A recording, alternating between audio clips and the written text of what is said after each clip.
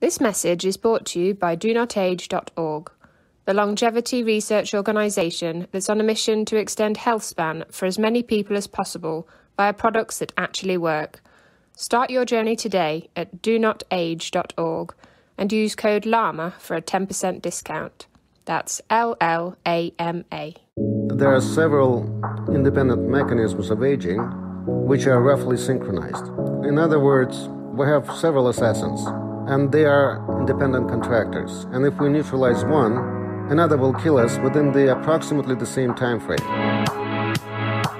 Hello and welcome again to the Live Long and Master Aging podcast. My name's Peter Bowes. This is where we explore the science and stories behind human longevity. Or put another way, how long are we going to live and what quality of life will we enjoy during our remaining years? Now, over the past hundred or so episodes of this podcast, we've discussed many lifestyle interventions that could result in us living longer, healthier lives. I often talk about extending health span, the number of years we enjoy optimum health. Others talk about life extension or extreme lifespan, 100, maybe 120 years, which, of course, the vast majority of us uh, really still have very little chance of achieving. So, are the interventions really worth it? How much extra quality time might they give us? My guest today is Dr. Magomed Khaidakov, a medical doctor and researcher based at the moment in Little Rock, Arkansas, here in the United States. Originally from Russia, he's a Canadian citizen and he has an interesting perspective, having spent a lifetime studying human longevity and aging. The title of his book is A Pessimistic Guide to Anti Aging Research, subtitle Death is Immortal. Dr. Khaidakov, welcome to the Live Long and Master Aging podcast. Hi. Do you, I'm curious, yourself aspire to live a long time? It depends. Dep- depends on quality of life, whether it's interesting and um, uh, disease free. You uh, work at the University of Arkansas for Medical Sciences, and I had a quick look at your page on the website, and you talk about your interest in the biology of aging and degenerative pathologies. In particular, you say in identification and correction of biological design flaws that limit mammalian lifespan. That's what you've spent a long time working on. So, what makes you pessimistic? Oh, uh, pessimism, it's not really a pessimism. Uh, I would rather qualify it as a, a, realistic view because what we need to find is working solutions. But gerontological research is always accompanied, accompanied um, with an um, enormous amount of hype and self promotion.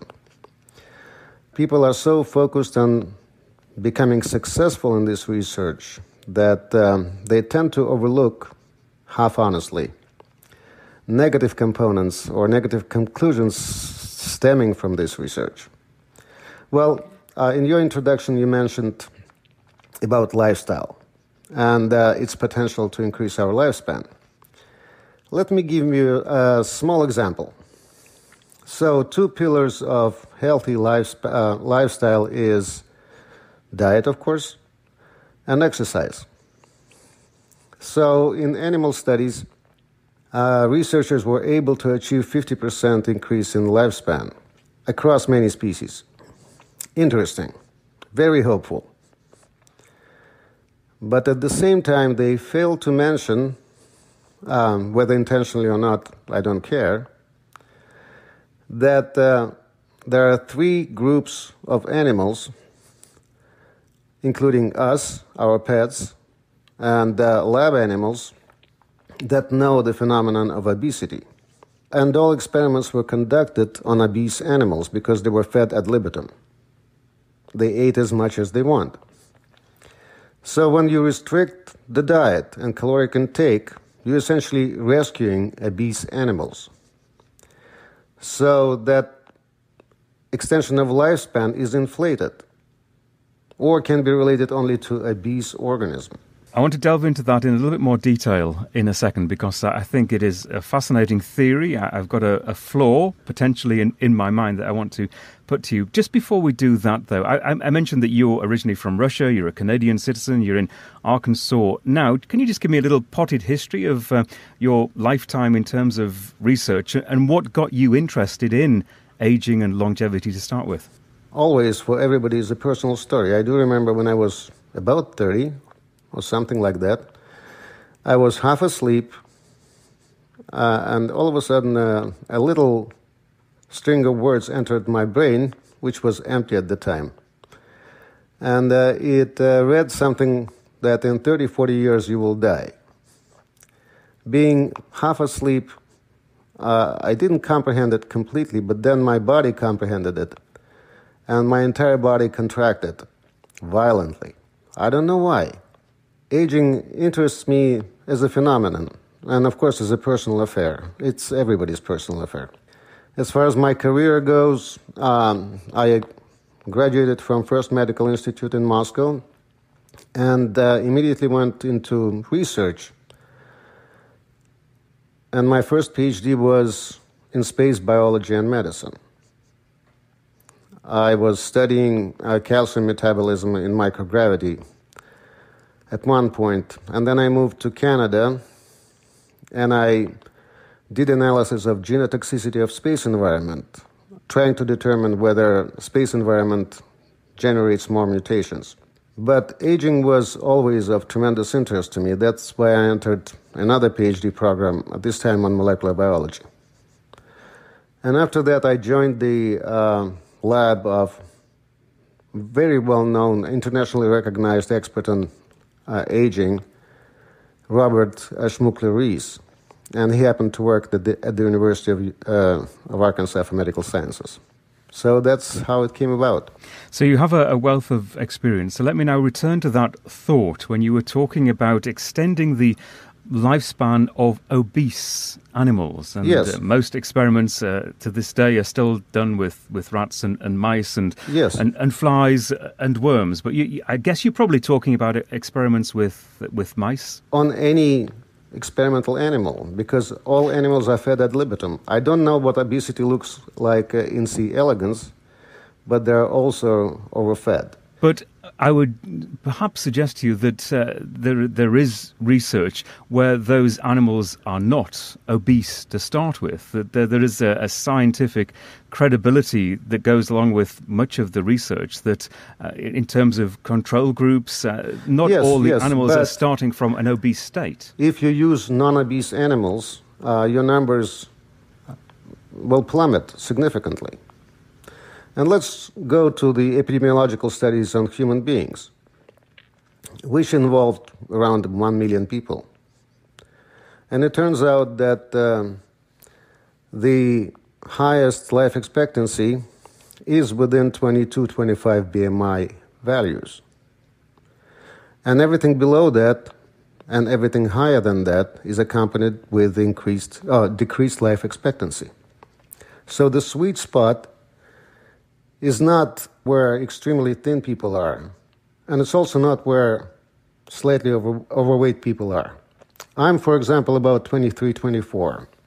So I'm comfortably sitting in a sweet spot, which means that decrease of caloric intake will not benefit me that much. So decrease of caloric intake will benefit human being proportionally to his BMI index, inversely proportionally to his BMI index. But there is some evidence, isn't there? And I think you've alluded to it that uh, caloric restriction, of all of the interventions, is probably the most effective in terms of giving, whether it's rats and mice or human beings, some extra years. True. But the number of these years is not that terribly significant. And uh, it amounts to no more than 10 years with uh, diet and exercise combined. Yes, it's a big benefit, relatively, but it stays within design limits of the structure that we call our bodies. And benefit from that perspective, not that big. So let me make the distinction, which I did in the introduction and I often do, between lifespan and health span. Now we've we've talked we're referring in the conversation so far to lifespan, the number of years we actually or mice and rats or flies or worms actually live. I think the focus, certainly my focus, is on health span, the number of healthy years that we have when we can live active lives, uh, involved lives, do things, enjoy life, enjoy each other. And the, a lot of the interventions that we talk about, including caloric restriction, can extend those those healthy years, as opposed to perhaps the vast majority of the, the human population who will end up with those final years not being particularly healthy and not particularly enjoyable. I agree with you. So I would. Um double the number of years. So, uh, healthy lifestyle, including um, diet and exercise, would increase your health span, presumably, by two decades. How does that sound? Well, two decades sounds pretty good to me. I'm happy for you then. not, not to you? No, because uh, I do have a different purpose. At least, I don't find it extremely interesting, because we are simply scraping for additional months and few years using behavior modification technique. I'm interested in uh, breaking the ceiling, in correcting design flaws you referred to. And there are many because uh, uh, longevity is a foster child of science, uh, not science, nature. It never was a, a priority for nature. So it's a sort of a byproduct. So the mechanisms that are driving our aging are based on those little engineering design flaws that are still lingering in our bodies to some degree. And there are many of those. I can identify at least three design flaws, which, if they are corrected, maybe will give us a chance to very significantly extend our lifespan move our ceiling much, much, much higher, regardless of our um, behavioral patterns. Do you want to tell us what those three design flaws are? Well, before I go into this, uh, we need to address the current state of gerontology or address our understanding of the aging process. And my understanding of the aging process is that there are several independent mechanisms of aging which are roughly synchronized. In other words, we have several assassins, and they are independent contractors. And if we neutralize one, another will kill us within the approximately the same time frame. And let's say we're addressing telomeres as a panacea from aging. It's not going to work. There are other assassins in line. Uh, let's say we address mutations in uh, nuclear DNA or mitochondrial DNA. Still, it's not enough because there is an epigenetic factor that will kill us nonetheless. So essentially, our strategy should be such if we seriously intend to get any kind of practical output from our gerontological efforts, we need simultaneously address all the major killers. I'm not talking about diseases, I'm talking about mechanisms. So, as far as design flaws are concerned. Uh, one of them, first, is mitochondrial DNA. From engineering perspective, it's ridiculous to leave genetic material in a harmful environment. And as long as it's there, or uh, as long as it's not modified somehow uh, to prevent accumulation of mutations, because they accumulate in mitochondrial DNA 10 times faster than in nuclear DNA, uh, we cannot solve the problem of relatively rapid deterioration of our brain and our skeletal muscles because these are non dividing, non renewable tissues. Then again, one of the flaws is accumulation of mutations in DNA. But even if, uh, if we solve it, well, right now it's kind of irrelevant to aging because we have several assassins. So, uh, question of mutations should be addressed in conjunction with, for example, telomeres. Because can you imagine we solve the problem of mutations, and yet telomeres will kill us at specified time. So accumulation of mutations at present level become a liability and design flaw if simultaneously we solve the problem of telomeres, and vice versa. Same goes to epigenetics and mutations, epigenetics and telomeres. All kinds of relationships are linked to each other. So, if we solve the problem of mutations, telomeres become my liability and design flaw. So, that's uh, my very rough understanding of this process. Yeah, that's interesting. So, mitochondrial science, telomere science, uh, all important. And we've talked about and we've emphasized um, lifespan, how long we are going to live. But what about the, let's say, the societal benefits of simply being healthy or healthier as we grow older? And much of this research, I'm sure much of your research and some of the issues that you pinpoint, if we were better able to to get through life, if some of those flaws were worked on and we could find solutions that we were healthier at 40, 50, 60, 70, uh, we would all benefit. That surely is worth it. Surely, but it's a very minimalistic approach. A very practical, prudent um, almost Scroogey kind of approach. Let's uh, let's keep a small bird which is in our hands instead of chasing the one that is flying so very high. But what's Scroogey about aspiring for better health as we grow older? No, I do not disagree. God forbid. uh, I'm just saying that it's not interesting to me because that problem is already solved. There is a solution to this problem.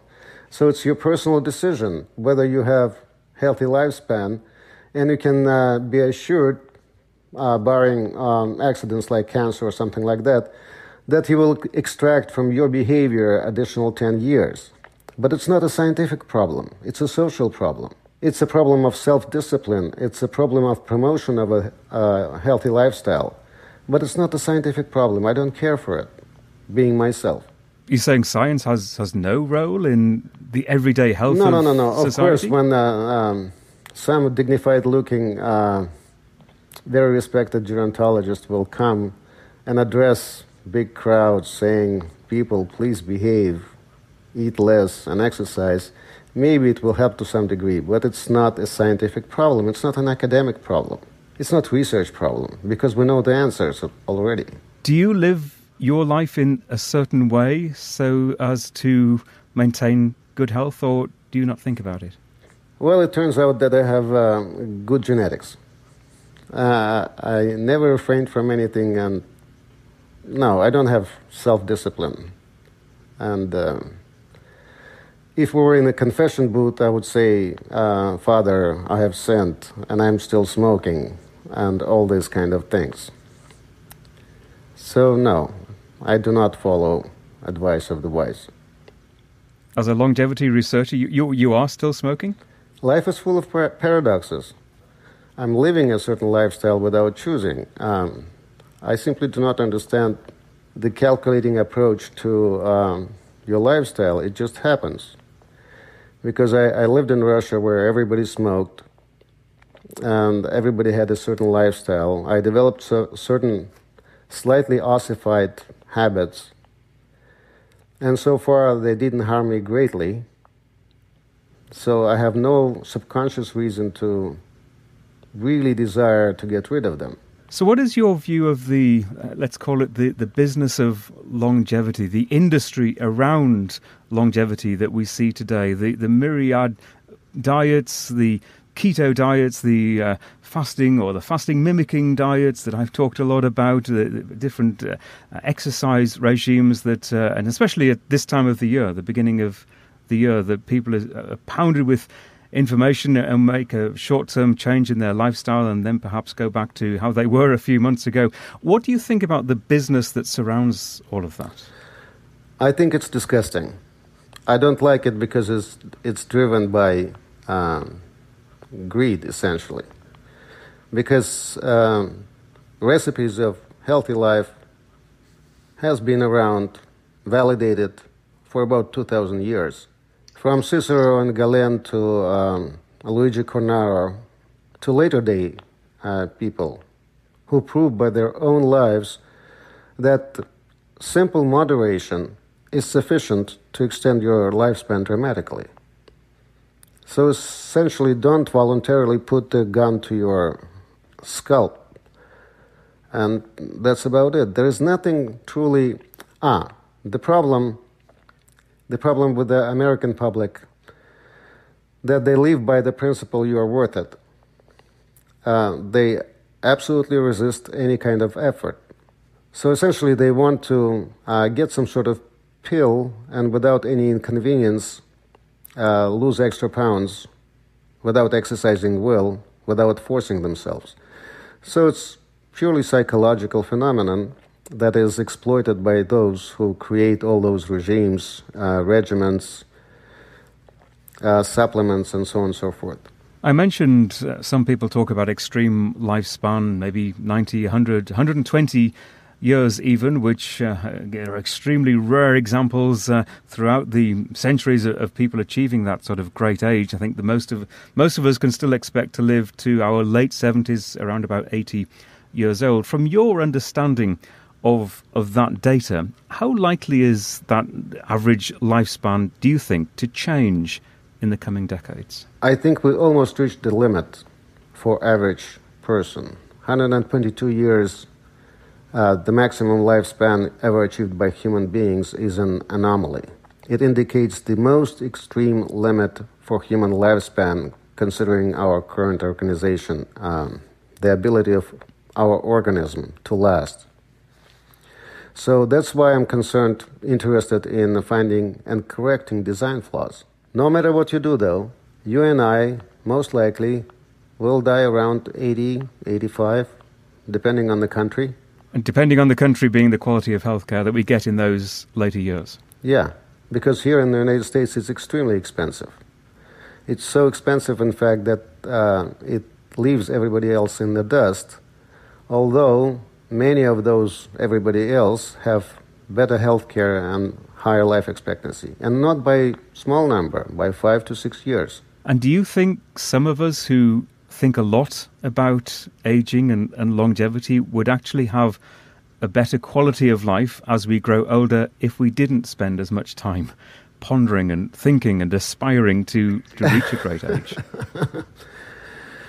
well, that group of people are um, uh, can be qualified as slightly paranoid personality. Not everybody is like that. So I would prefer people to enjoy life without always thinking about death. You would agree that uh, it's counterproductive. And maybe I'll suggest that a lot of people with that frame of mind are listening to this podcast. no, I just find it ridiculous because uh, uh, in the field of gerontology, especially with a very large pool of groupies who are half informed and uh, half educated, many of those people have obsessive personalities. And uh, they can be manipulated, but it's not healthy, it's not productive, really. So I do not understand all this. Normally, I do not think about death. How do you, you don't normally think about death. When you do think about death, is it something that scares you? Is it something that you look forward to or you are neutral about, just knowing that it, it will happen? That's a very complicated question because uh, it has a range from practical to highly philosophical. So it's too open to answer. I do not think about death, but my attitude to death has changed over year over the years. I do not have a trepidation of the young organism against sudden discontinuity. And that you learn to accept that it will more or less inevitably happen. So my only hope and expectation that I will uh, face it calmly, like Julius Caesar, for example with certain dignity. So you've spent a, a lifetime studying this area, aging, longevity, yes. and in, in, terms of longevity, based on the scientific knowledge that you've acquired over the years, your views must have changed quite considerably over those decades. Sure. But let's start from the beginning. Okay, we all have similar lifespan, but one century ago, our ancestors lived about 44 years on average. Do you feel any sense of gratitude? Do you feel any difference? No, you don't. I'm answering for you. Because for you, hmm. it's a given. You just take it. But your attitude to your lifespan in terms of its duration is uh, very passionate. You consider it's very low, um, intolerably low, as a matter of fact. Now, if your lifespan, if the lifespan of the entire humanity would change to 200 years. Will anything change psychologically? It will be all the same. You will take it as a given and still consider this 200 year limit unacceptable. Always aspiring for more. Yes, because it belongs to everybody. It may sound offensive to you, but in order to appreciate extremely long lifespan, it should belong to a minor part of mankind. You should have neighbors that live twice half as long as you in order to appreciate your years. You need some sort of reference point that you truly live so much longer than the people around you. So, psychologically, extreme longevity can be appreciated if it belongs to few people. Otherwise, 500,000 years, what does it matter? Psychologically, it will be all be the same. It's still not an eternity. You write in the book, towards the end of the book, that you are entering into the twilight of your life. True. Now, how old are you now? Do you mind me asking? Beatles. Will you still need me? Will you still feed me? When I'm 64. Beautiful age. but hardly the twilight. Well, uh, in uh, a second sonnet of Shakespeare, I think, uh, the first sentence was that when something like twilight, judging from this sentence, started at 40. I, I don't remember exact wording, but the impression was that 40 is where the actual decline of your life begins. Now it's probably 70. I don't know. But it depends because uh, uh, up until I was 60, I didn't feel any difference whatsoever. And I looked like looked 30. And I reaped all the benefits of looking 30 being 60. But then uh, some sort of slight, almost imperceptible change happened, happened. And uh, I realized that I'm entering a different phase of my life. And you also suggest in your book, in concluding your thoughts, that uh, if you were to have your time again, that you may not have followed the same course of research, and you you question whether you would engage in something less inherently useless than you say giving in to the terror of of dying. If you had your time again, would you do something different? My life is driven by accidents, uh, so I'm pretty sure that my new life uh, would be driven by accidents too, and I would be in a different place. What kind of place would you like to be in, though? That's what I'm what I'm getting at. I have no idea. Uh, I enjoy many things, and uh, I, am not entirely disappointed with the way my life went because um, it was really pleasurable. I had many friends. No, it was really pleasurable. I, I do have things to remember. And um, Many other people don't, or they have to remember suffering mostly. So I'm very fortunate. I'm one, I'm one of the few who has no complaints whatsoever. So I'm wondering what your thoughts, or maybe even your advice, would be to young students of longevity today, young aging researchers getting into this field. There are many, many university degrees focused on longevity these days, different aspects of science. What would you say to those people? Well, first of all, bio, uh, importance of biology declined over the years. Actually, it declined dramatically in the last 10 years. Um, from now on, biology will play a second fiddle to uh, big data science and silica science just for confirmation of ideas. Uh, produced by artificial intelligence or whatever it is. So the answers to aging lie probably not entirely in biology now. And maybe even with the methods biology has, it cannot provide any answers. I'm not sure about that. Because we need far more complex vision of the aging process that any individual with a biological degree can master. Uh, we need to see it as a extremely complex phenomenon, and that uh, attention or obsession with a single mechanism, single molecule, single intervention will get us, uh, will get us nowhere. I'm very interested in phenomenon of aging.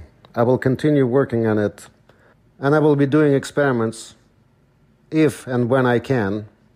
And uh, in this context, uh, I have a fundraiser right now on Facebook for some uh, experiments aimed to del- aimed to delay aging-specific dementias, and it's related to mitochondria.